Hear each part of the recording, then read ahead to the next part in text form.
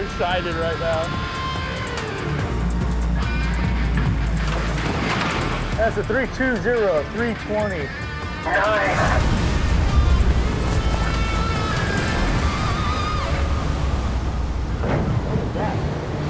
What?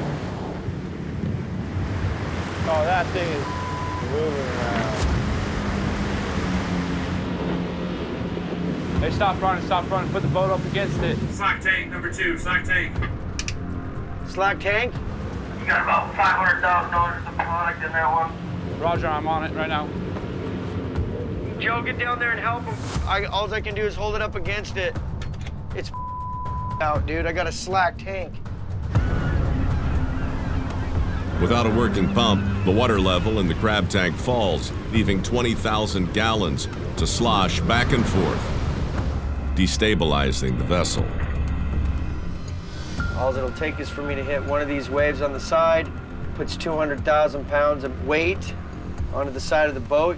You list, then you capsize, and then you die. Mason's gonna start pumping the tank back up now. And he's bleeding the number three pump into the number two tank.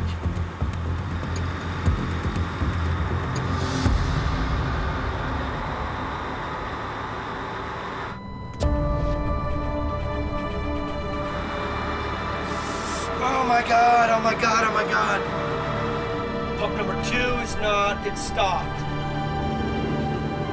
Yeah, Mac, get up here and hold it up against it. I gotta run down there and help.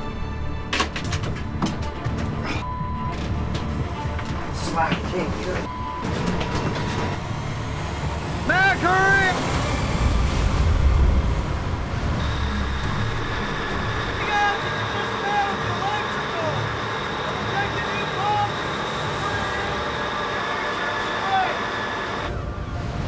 With a slack tank threatening to capsize the vessel, Captain Jake races to install a new pump and stabilize the saga.